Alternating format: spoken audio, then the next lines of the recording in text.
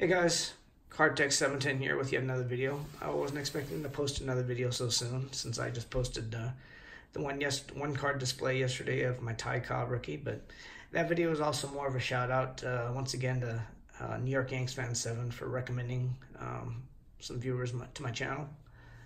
Um, thought I'd get into it with basketball. Um, I am a Lakers fan, having uh, grown up in LA, but I now live in Seattle, where we don't even have a basketball team anymore, but uh, 2003 Topps Chrome King James and PSA 10. I always wanted this card. And I also got uh, Lonzo Ball's uh, Rookie of the Year Contenders Cracked Ice. This one's numbered 18 out of 25. Since he's getting the playing time from uh, Rondo, while Rondo's hurt, I just thought it's a good chance to jump on that. And the other two cards I have are actually raw. We got uh, Luka Doncic or Doncic from uh, Dallas Mavericks.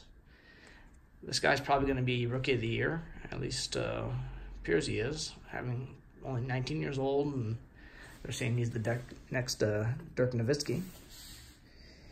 Not really a Clippers fan, but uh, this one here is the uh, Panini Contenders uh, Shai Gilgeous-Alexander rookie. Pretty good rookie, uh, 20 years old.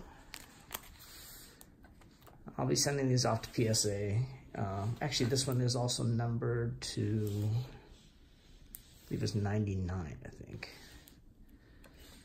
But, uh, you know, rookies nowadays that are 19, 20 years old, shit, man, I got boxers that old, but, um, well, you know, basketball, it's well and good, but be honest, I, I, you know, I miss the fact that it's, uh, not baseball season, but I guess it's a good time for me to swipe up on some rookies that from baseball that you know uh, kind of cooled down a little bit in the off season. But um, I did get a large bulk order from PSA uh, just the other day, so trying to figure out how to display it without displaying all 50 of them. Maybe I'll just display the key cards that I got back, but.